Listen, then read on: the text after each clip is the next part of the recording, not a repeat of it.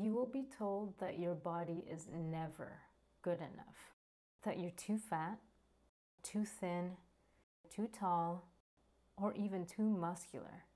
But your body is yours to shape, and we are happiest when we shape it for ourselves. This is what Muay Thai has helped me create a healthy relationship with my body that I can celebrate because of what I can do, not how I look.